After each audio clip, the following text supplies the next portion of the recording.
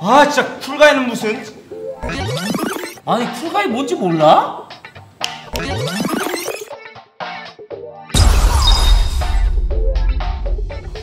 오늘은 당신의 첫 출근 날입니다. 티 안 나게 멋진 쿨가이를 완성하기 위해 얼굴에 비비크림을 바르세요.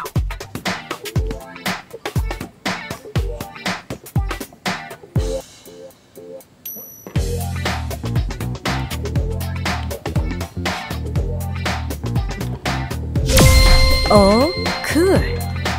아유 이거 봐. 얼굴에 떡칠을 했네 떡칠을. 금방 끝나. 너 정말? 아니 근데 안 보고 발랐는데 어쩜 저렇게 자연스럽지? 아 저거 도대체 어떤 BB야? 아 줘봐요 줘봐. 가져와 아이, 그거 아니 줘봐. 아니, 남자의 BB 아니 남자이 한번 발라볼게요.